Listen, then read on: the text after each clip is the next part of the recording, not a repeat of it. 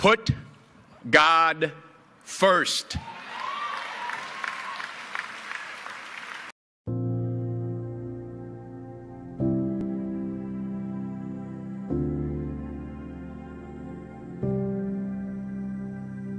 Put God first in everything you do.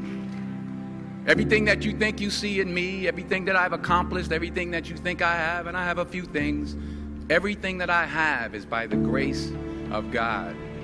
Understand that. It's a gift. 40 years ago, March 27th, 1975, it was 40 years ago, uh, just this past March, I was flunking out of college. I had a 1.7 grade point average.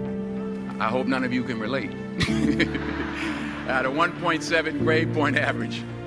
I was sitting in my mother's beauty shop. They still call it beauty shop now? What they call it now? Yeah, I was sitting in the beauty parlor. I was sitting in my mother's beauty parlor, and I'm looking in the mirror, and I see behind me this woman under the dryer.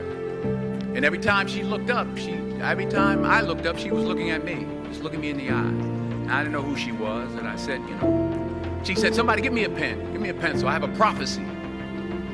March 27, 1975. She said, boy, you are going to travel the world and speak to millions of people.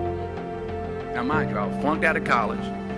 I'm thinking about joining the army. I didn't know what I was going to do, and she's telling me I'm going to travel the world and speak to millions of people.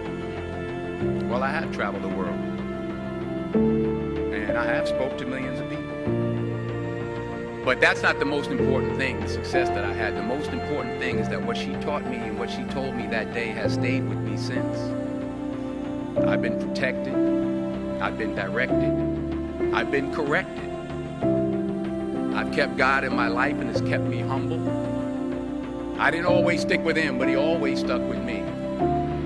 So stick with him in everything you do. If you think you want to do what you think I've done, then do what I've done and stick with God.